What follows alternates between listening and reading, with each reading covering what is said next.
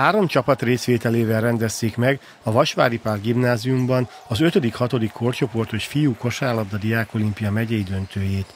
A nyitó meccsen a hazaiak a Kruri ellen léptek pályára. Az előrehozott döntőben végig fejfej mellett haladt a két csapat, végül 65-62-re győzött a Vasvári. Mivel a harmadik részvevő Zrinyit mindkét csapat magabiztosan verte, Sitkumátonit jutottak be az országos döntőbe.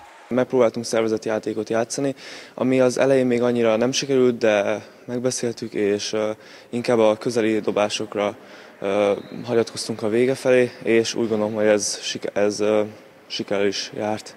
A Vasvári csapata 2004-ben Pécsen megnyerte az 5. korcsoportos Diákolimpia országos döntőjét.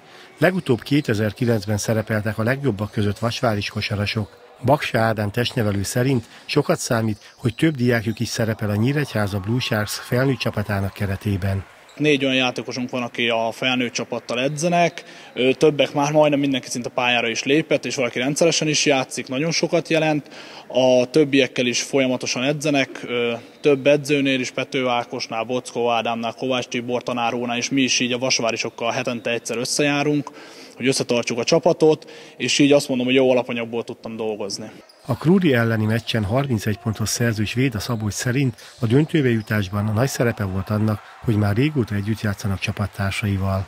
Össze vagyunk szokva, meg több csapattársam is, aki ebbe az iskolába jár, együtt edzettünk már jó pár éve, és tudtunk, tudtuk a saját játékainkat játszani, és mivel többen is már jó pár meccset átéltek, ezért szituációban is helyt tudtak állni, és hidegvérrel tudtak játszani.